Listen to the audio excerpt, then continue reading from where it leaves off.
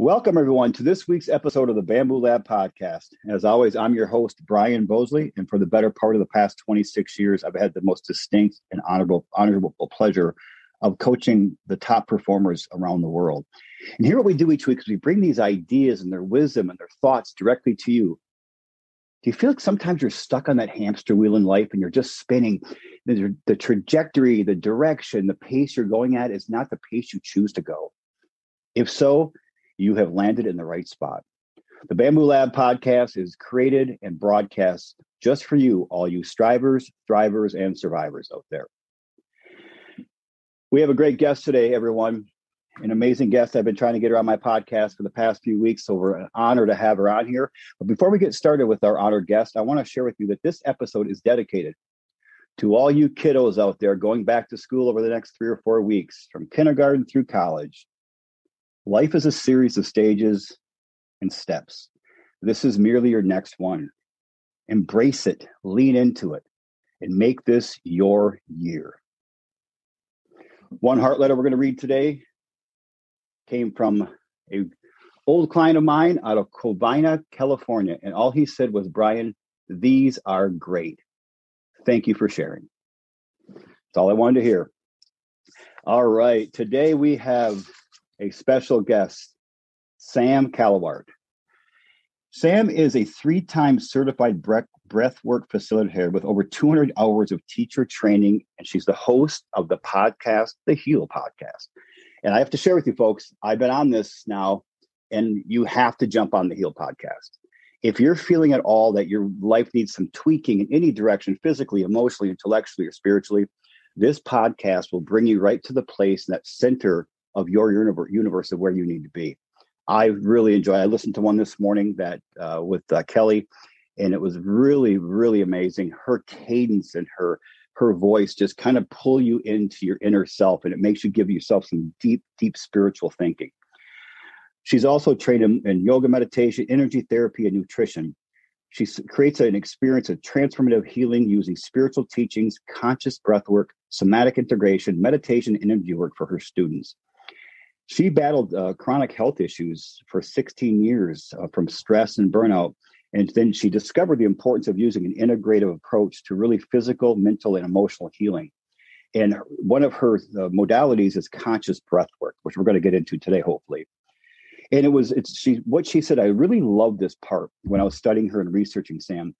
She said it's only when we stop giving away our power and release the belief that healing comes from an external source outside of ourselves that we empower our own journey. She and her husband called Grand Rapids, Michigan their home. And without further ado, Sam, welcome to the Bamboo Lab podcast. Thank you for having me, Brian. I'm excited to be here. I am very excited to have you. It's funny because uh, we've lived, I lived in East Grand Rapids for 22 years. We never ran into each other. We just somehow got connected on Facebook and I followed her and I really like some of the stuff she posted and, and her style and then getting on this podcast of hers. And I'm going to recommend it again, the Heal podcast. Get on it and check it out. So, Sam, I know a little bit about you just from my research and following you on Facebook, but can you share with the Bamboo Lab who you are? Yes. So my name is Sam Kalawart. I am a breathwork teacher, a mentor. I'm a wife and a new mom to a nine month old son named Eastwood. So in the last two years, our lives have been pretty much turned upside down uh, from expecting um, Eastwood, which was a total surprise and moving from downtown Grand Rapids, about 30 minutes east in the country. We built a home and we're here now on four acres. And it was my calling for a really long time to come back to the country because I was raised in the country. So we are now in a beautiful wooded area um, in Lowell, Michigan, and I absolutely love it. And I've also gone through just a huge transition the last couple years from seeing clients one on one in my office in Grand Rapids to moving to primarily group work. And that has been really um, empowering both in my relationship with my son and being able to have that extra free time with him and to show up as the mom that I want to be. And then also to guide these community sessions, which have been so incredibly powerful. That's amazing. Well, congratulations on being a new mom to Eastwood. I love that name, by the way. Does Thank it have you. anything to do with Clint Eastwood or no? we did um, just kind of a take on Americana. And um, so Eastwood and his middle name is Ford. So it's Eastwood Ford. And we just love really traditional, all American, strong names. So that's why we went with it. You're not getting much stronger than that. I my grandson, um, the audience knows this. Most of the returning audience, uh, Sam, but my grandson was born a year ago this past month, and his name is Jack Musselman. So I it got that kind of Eastwood Ford middle mm. kind of concept to it. I love so, it. So where did you grow up then, Sam? I grew up in Hudsonville, so closer to the lakeshore in the country. And then, so growing up with you doing this, this, this amazing mind body work, spiritual work with your with your clients, with yourself, and with your loved ones, who was the inspiration growing up to get to? I know you have a story that ha- that you kind of came to a realization in your twenties, but who inspired you as a as a child? Honestly, growing up, um, I didn't have someone I really looked up to. Um, it was more through books and through podcasts that I found my inspiration. So I believe the first author that I was really inspired by was reading the book Think and Grow Rich by Napoleon Hill. And I was probably 17, 18 when I read that book. And it introduced me to this idea that we have the ability to co-create our lives.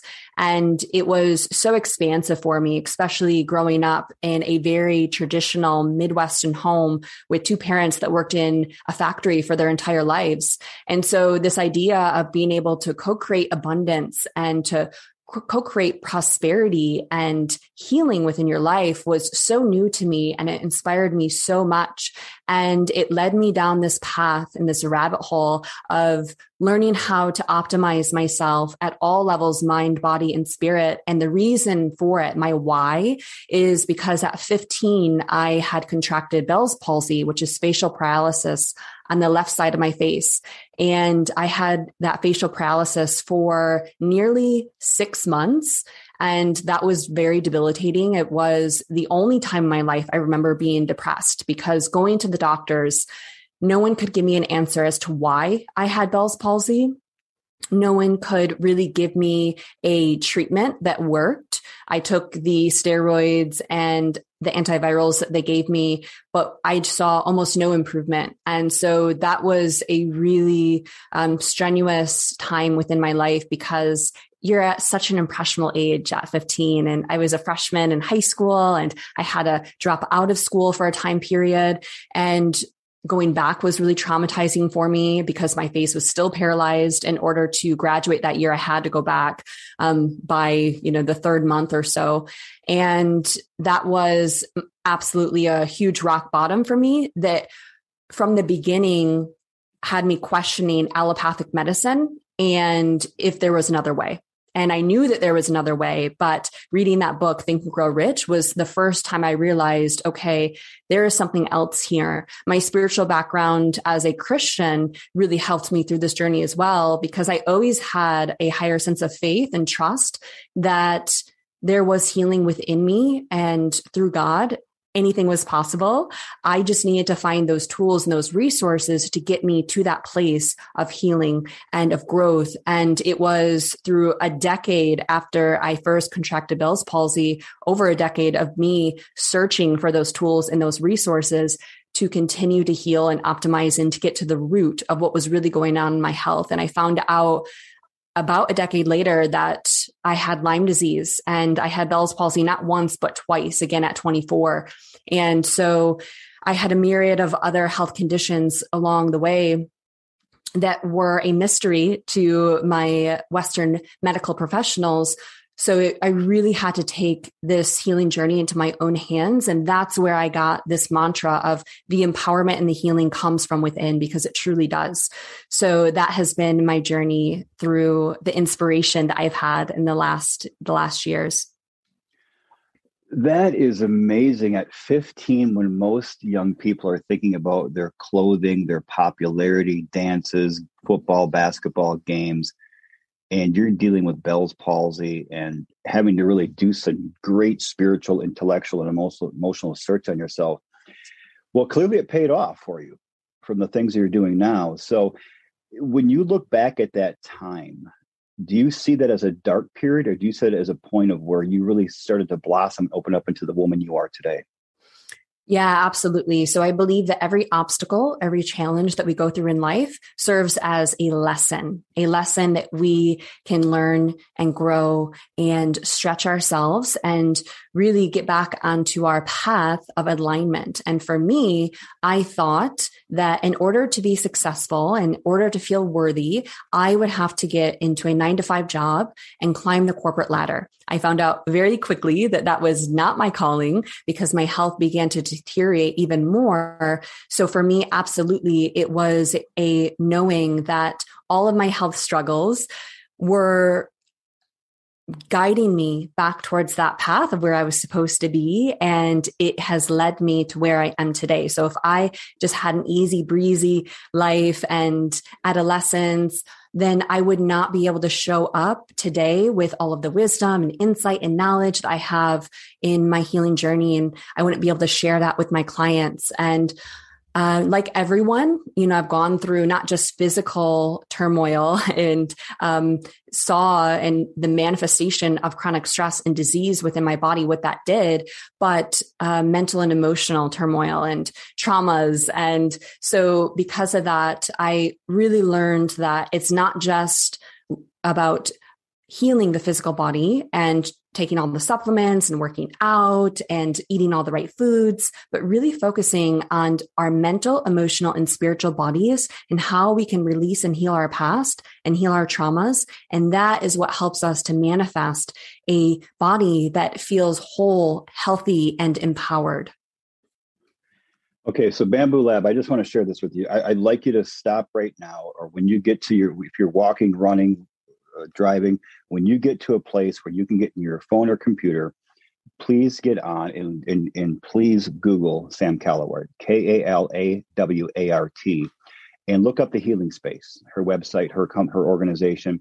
And I would recommend subscribe to her monthly notes of wisdom and her event updates. This stuff is gold right here. I, I firmly believe that. And over the past, I would say, year and a half, I've never really took seriously this concept of mind body correlation until the last 18 months when we've gone more to a gluten-free diet and, and cut out dairy and and I've seen such a transformation in just that in of itself.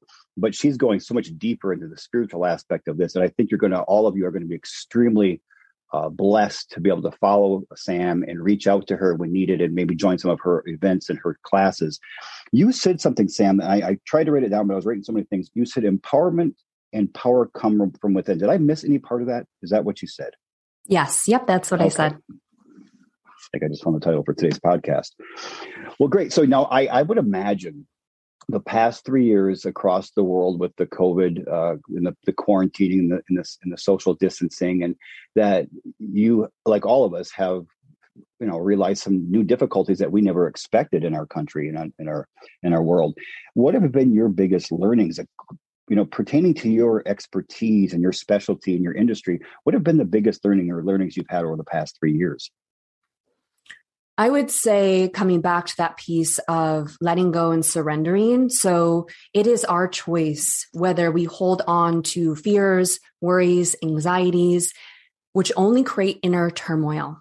And so over and over and over again, I have had intention and commitment and consistency with my practice and letting go and letting go of all of that heavy emotional baggage and then coming back to the presence of my body, feeling the safety of my body, the groundedness of my body. Because if you don't feel safe, then you are disassociating from yourself, from your environment, from your family. And so that safety piece is so key. And through coming back to that piece of presence, using the breath has been a really important tool for me because it's one of the fastest ways to bypass the analytical and logical mind and come back into this sense of safety within and connection within. And so that whole theme of letting go and surrendering the scattered mind has been a really important theme over the past couple years and then also realizing once again that i'm not going to allow external fear especially coming from the media, to dictate how I feel internally on a daily basis. And that in itself is very empowering too. Stay with us. We'll be right back. Get the latest insights from top mortgage pros on Mortgage Connects, a podcast by MGIC.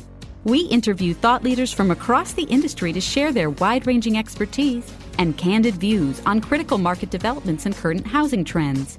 Our guests reveal highly effective marketing and referral strategies, training tips and best practices, and what you can expect from the mortgage market in the future. Hear from experts like best-selling author Todd Duncan, U.S. Bank's Lenny McNeil, and Freddie Mac's Danny Gardner. Listen to Mortgage Connects on your favorite app or at mortgageconnects.com today.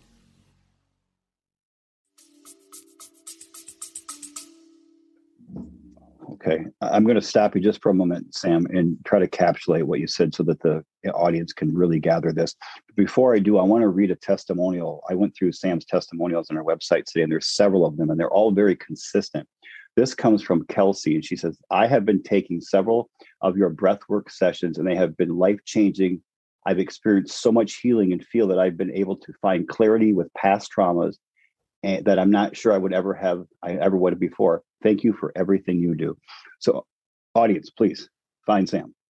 But what I got out of this so far, and there's a, several things on my page, my notes are, my page is already filled, so I got to get another piece of paper here. Empowerment and power comes from within. And she talked about one of the books that inspired her at a young age when she was a teenager was the book by Napoleon Hill, Think and Grow Rich, which I would recommend to anybody in the audience to pick up. It's a classic. It's, it's a biblical book for the industry of self-development improvement. And she talked in there about how she learned at that time she could co-create uh, her prosperity and healing and really transform her own life, mind, body, and spirit. And having Bell's palsy at 15, then again at 24, and contracting Lyme disease, it was rock bottom for her, especially as a freshman in high or freshman in high school. And that she found this this this transformational process to be not only healing, but to really be transforming to her, to turn her into the woman she is today, and is helping all these hundreds and hundreds of other people, if not more. And I really like what she said. Obstacles and challenges serve as a lesson to help us get back in alignment.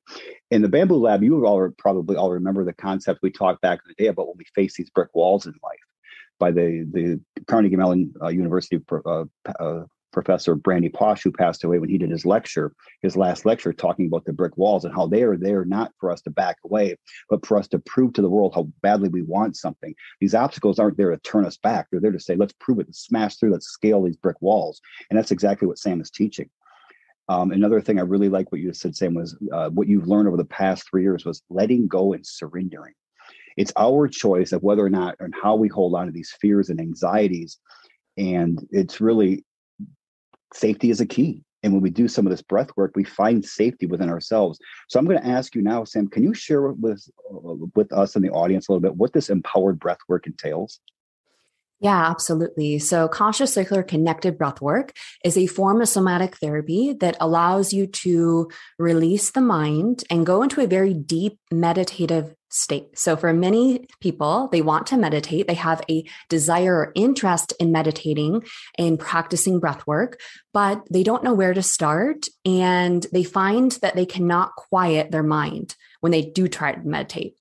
So for many people that are completely new to the world of meditation, to breath work, they find that with conscious circular connected breathwork healing, within 10, 15 minutes, they're able to drop in to a very transcendental surrendered state of complete presence. And it's within this state that we begin to access the limbic brain, the subconscious mind, which is the feeling aspect of the brain. And this is where we hold on to emotional traumas and old wounds that are holding us back knowingly or unknowingly within our lives. And so through this process and in each breathwork journey, you are guided through a 40 to 60 minute breathwork journey where you are continuing this cycle of breath in and out of the body. And this leads to a profound cathartic release, both emotionally, physically, spiritually, as you begin to let go of any of those heavy emotional wounds or traumas that begin to come through within the journey. So you're laying down, you may have an eye mask on, you may have a blanket over you, and then I have music playing, either if you're joining via Zoom it's music that you hear through your own speakers. If you're in person with me in Grand Rapids, it is um, very powerful speakers that we have there because the music is a huge aspect of this. And then I call it a journey because you are truly journeying within within yourself, within your psyche, within your emotional body, within your spiritual body. And you're beginning this process of reconnecting to all of those lost or unseen aspects of self. And you're beginning that process of release and surrender. And it happens in a really natural, organic way through this breath work. And it's a very powerful way to experience a deeper release, but also to regulate your nervous system and to help quiet the mind and to help reconnect to your intuition. And so there's so many benefits of breathwork healing and you experience something new each time that you lay down and do this work, but you are guided through cues. Um, I'm there to guide you. I'm coming around. If you're in person with me, I may be helping you through any obstacles or blockages that you're facing. But for the most part, you're going through this journey by yourself. And though that there may be breathers around you, you find that this is a very individual journey and you're able to drop into this deepened meditative state really quickly. And because the music's really loud, you just get lost within yourself and within that sense of it's okay to let go. It's okay to release. Many breathers experience a huge heart opening. Um, so there's just an array of different uh, physical, spiritual, mental and emotional effects that take place within a breathwork journey. It's very hard to describe because this is very experiential work. But once you lay down and you breathe in a full breathwork journey, this you will find is nothing like what you have experienced in mindfulness or meditation or yoga. It's a very, very different experience. Many people will describe it to a similar experience of plant medicine. Um, so that is the kind of overview I like to give on breath work, though, like I said, it is hard to fully comprehend until you lay down and try the work yourself. Well, I think if my audience is very similar to me, meditation itself, the standard meditation we've learned is very challenging. I know for me, when I did a podcast last Friday with one of my heroes, Gay Hendricks, I w- found myself a little tense before. So I did a 12 minute standard meditation. It did help uh, just to calm myself to some degree, but this empowered breath work sounds like just next generation, next level style. So if many of my audience audience out there wants to really release the mind, quiet the mind, and access that limbic brain, what's the best way for them to get a hold of you and reach out to you and to learn more about you, Sam? I would say through the podcast, through my Instagram um, page, which I typically update daily, and then my website. I also on the Heal podcast have many versions of conscious breath work um, and different mindfulness practices uh, from season one. But like I mentioned, in order to get a full experience, I recommend journeying through a full session of 40 to 60 minutes with me. And I will be opening a virtual platform at the end of this month um, because I do guide virtual sessions twice a month right now, once a month sometimes, but I will have a more comprehensive platform with both the live and then a uh, past and future replays for you to experience this anytime that you need deeper support and deeper healing. And Sam, I'm going to tr- I'm going to share your link to your pot to your website on the text version of our, our podcast podcast today. But can you share with them the us the Instagram name you go by? Yes, it is just my name. So at Sam Kalawart. Perfect. Simple enough. Wonderful. Well, I have another question that I ask every guest, Sam, and I think I have it, but I'm going to ask it anyway over the course of your life, as you've journeyed into these new levels of, of experience, uh, spiritually, emotionally, you know, intellectually, physically, what has been the most difficult thing you've ever gone through? Stay with us. We'll be right back. Hey, this is Doug Downs, host of the podcast Stories and Strategies for Public Relations. If you work in PR, communication strategy, marketing, stakeholder engagement, we cover them all in Stories and Strategies. This podcast is different from other PR podcasts because it's not a sermon. We interview experts from around the world psychologists and cognitive neuroscientists, researchers looking at how artificial intelligence will impact communication ethics, senior leaders in business and corporate communications. Check it out Stories and Strategies for Public Relations on any podcast directory.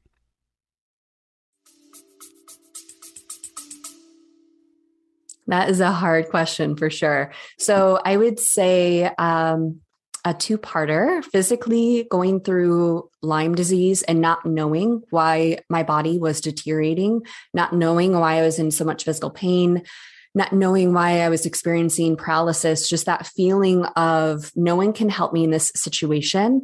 And I was feeling really defeated at times. But like I had mentioned, that is what brought me into this space of healing um, the mental, emotional, and physical body and so that was absolutely the most diff- one of the most difficult moments in my life because it ebbed and flow. I would think, oh, I'm getting better, I'm feeling so great, and then I would hit another rock bottom.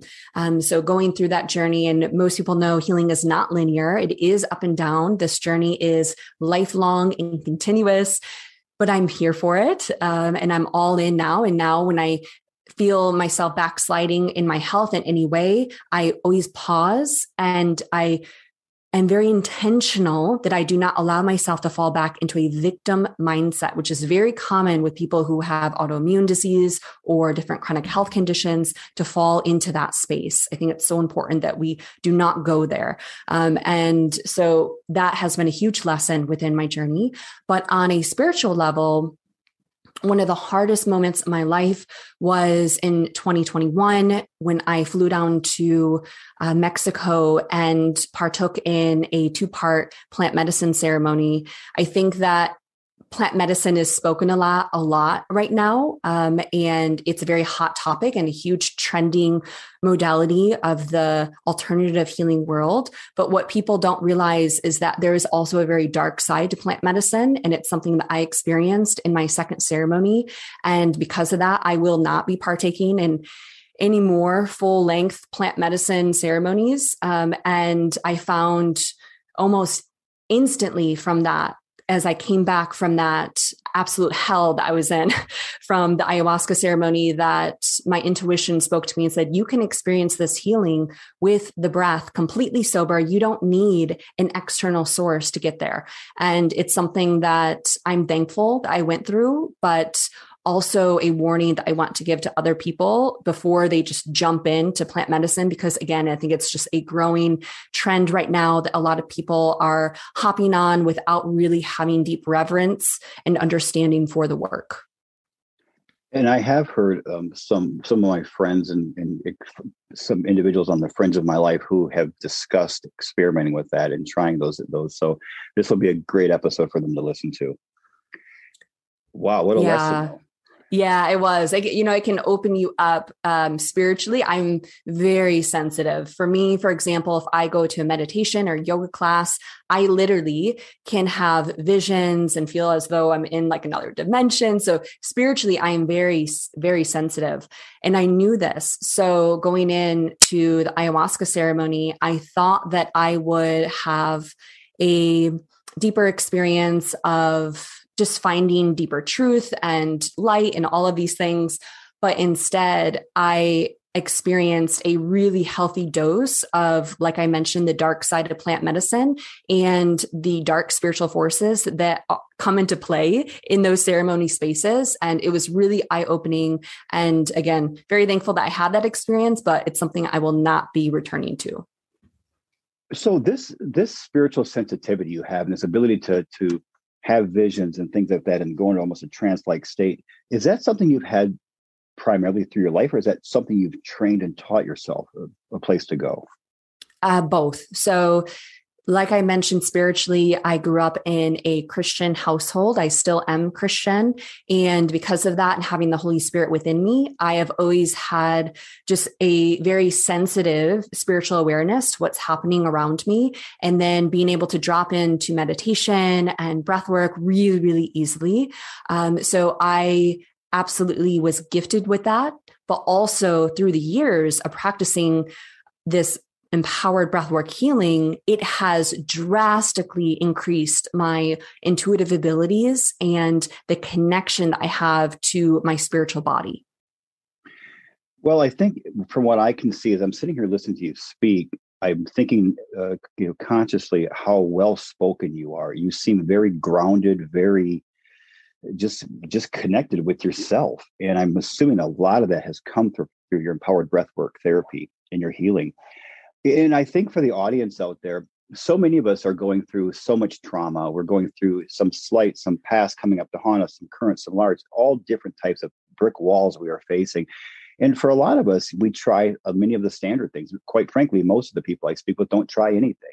They play that victim mentality and they stay kind of curl, curled up in, in the corner and wait for someone else to come and transform them. As, as, as Sam has shared, empowerment and power comes from within. And I think a lot of us, those who do try, try things like like medication, perhaps exercise, diet, proper diet, reading, journaling, therapy. All those things can be very good. But some people may not be able to crack that code to that next level to really dig deep, deep and find their, their authentic their authentic self and find the alignment they're seeking. I think this is a great place to go and start right here with Sam. So, Sam, for you, with all these things you're doing, what's a win for you? What's a victory for Sam in her life?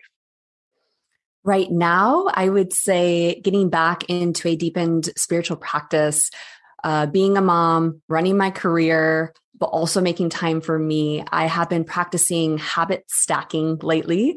So mm. essentially, it is a practice in where you are combining or multitasking several different modalities all in one. So, for an example, um, and I've heard this from so many of my clients. I just don't have time to meditate in my day. So, a huge success right now in my life that I am thankful for is this um, idea of and practice of habit stacking. So, when I take my son for a walk every morning, I have a beautiful path through the country that we go.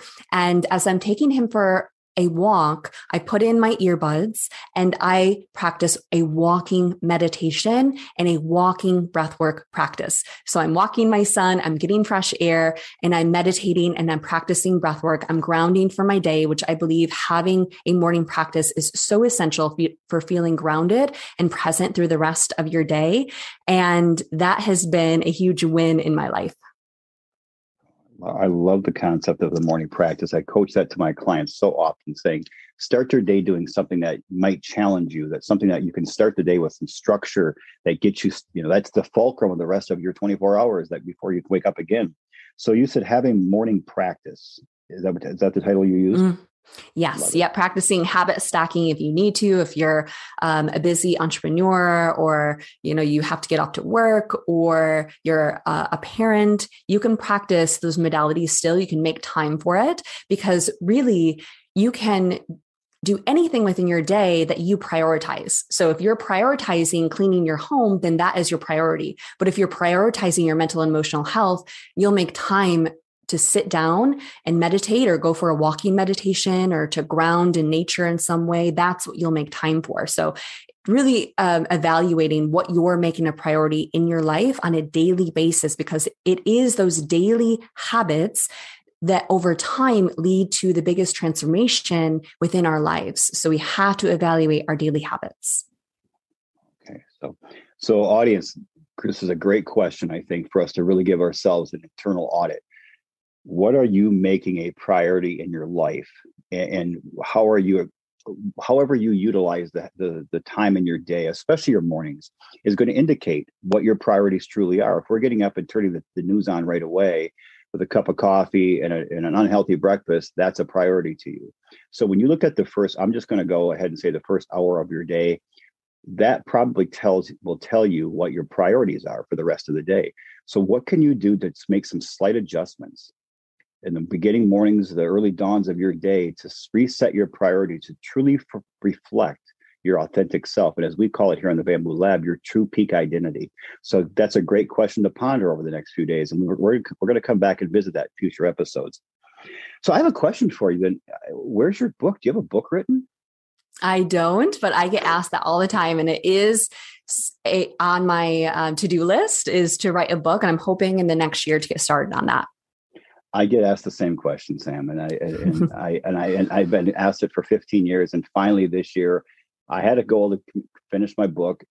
The book I wanted to finish will not be finished, so I decided to publish one that I had written three years ago, and get that one out just as a start to say I did something. So mm-hmm. I feel it's it's one of those things that we have it in our brains, we have it in our experience in our minds and our souls, but sometimes it's really hard to get on paper. It is for me anyway. And yeah. this, you know, I have to share with you, and I'm going to share with the audience too, because I think so many of, of us would agree to this. Meditation scares me. And I don't know why. And I know you're talking about something deeper than meditation, but just even basic meditation, slowing my brain down, it scares me. I have only, I started doing a minute a day, then three minutes, then I got up to seven, and then I capped out there. I finally did 12 minutes last Friday before my podcast interview with Gay Hendricks, Dr. Gay Hendricks. And that's the most I've ever done. So, what would you say to a person like myself and probably many of the, the Bamboo Pack listeners who might be afraid of kind of shutting their minds down and closing it down and and releasing it, uh, quieting it, accessing that limbic brain? What would you say would be a good start for us? Absolutely. I would say engaging in a breath practice, a grounding practice of breathing in through the nose and then extending your exhale through an open, relaxed jaw with your hands on your heart or on the top of your thighs is a really powerful way to just begin that practice of presence, grounding, and quieting the mind a lot of times when we have fear of meditating, of uh, letting go, it is because the ego is so strong, so used to being in control, and um, oftentimes it is a trauma response from our childhood. So, also realizing that our inner child holds on to all of the wounding and imprints and messaging that we received growing up about what it means to be successful, what it means to be worthy, what it means to be good enough. And so, oftentimes it's also we just have to nurture that inner child piece of us that may have some residual fear arising to trying something new and say it's okay. It's okay to let go. I am here. You are safe. So speaking to yourself and to those aspects of self that feel scared um, and don't want to try something new can also be a powerful practice just speaking internally into your own heart uh, and that presence through grounding using the breath using an extended exhale and placing hands over the body, just a couple minutes a day, that in itself can be a huge um, step in the right direction. I love that. So I'm gonna I'm gonna recap what I got here. So in, uh, inhale through the nose, exhale. Have an extended exhale through the mouth with the jaw relaxed, with maybe your hand on your heart. Is that would that summarize mm-hmm. to some degree? Yes. Is there any time frame, Sam, that you recommend a person start with? Is it three minutes, seven minutes, twelve minutes, twenty minutes? Is there any where you'd say try it when you first try it, do it for this length of time, and then maybe increase it over the course of time? I say three minutes because three minutes is the average length of a song. And we listen to so many songs on the radio while we're driving ar- around. And so if we can just use three minutes to sit down, set in a timer. And for me, I also recommend a guided practice. So that's why I have so many guided practices, guided mini practices on my podcast, which you can listen to on Apple, iTunes, or Spotify. Because for many people, shutting off the mind completely is just not possible. It's just it really is not. So, listening to someone else's voice or listening to calming music or listening to binaural beats that can be really helpful within your um, practice to have that guidance through the process and through the practice so that you don't feel alone. Wonderful. So, again, Bamboo Lab audience, I'm going to share with you to look for Sam. Go to the Heal podcast. I listened to it this morning. Kelly and I did. I found it incredibly good. It's the first episode I've listened to. I'm now going to be subscribing. I have subscribed to her as of this morning, her monthly notes of wisdom and event updates, and find her on Instagram. It's at Sam Kalawart. Pretty simple. And I'm going to read from Rebecca here what she says on, on one of her testimonials for Sam. I discovered Sam on Instagram and grew curious about breath work based on her extensive work on the practice around the world. I didn't know what to expect from my first 11 session, my first one-on-one session, but I worked I walked away so glad that I tried it. I have participated in many forms of alternative healing and therapies and found this to be the most beneficial of anything I have ever experienced.